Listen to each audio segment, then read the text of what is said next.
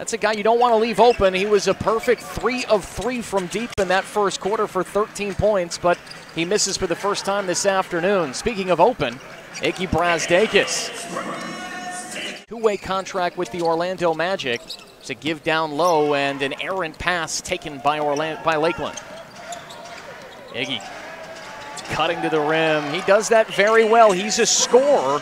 Had a G League high 45 point game back in late January. He's found a nice home in Fort Wayne. Brazdeikis gets his own miss, puts it up and in. Scoring trips for Justin Anderson. Brazdeikis down low. He gets two of his own. Dowtin gets it into BJ Johnson. Brazdeikis got a good look at a three. Down that goes. Brazdeikis has his first three of the afternoon, 11 first half points.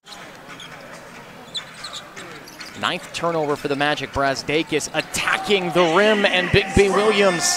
And he kisses it off the glass and in. They don't get a lot of their scoring from inside the painted area. They're 26th in the league in that number, in that category.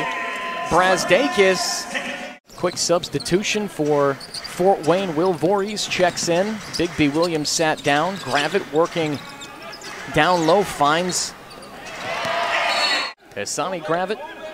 Played on a couple of 10-day contracts with the Lakeland, with the Orlando Magic in December. Even started a few games. Here's Brazdeikis. Just threw it up there amongst the contact, and he got it. I think 42 points. Inside, that's Brazdeikis. Nice finish by Brazdeikis. Walt Lemon Jr. starting to percolate here in the fourth quarter. They throw ahead to Brazdeikis, and he answers with a two of his own. Brazdeikis, 28 points. Offense has to go through him the rest of the way. Nearly lost it. Just got to find some good possessions. Brazdeikis with the up fake. Draws contact. May have just clinched up the Magic's fifth regular season win.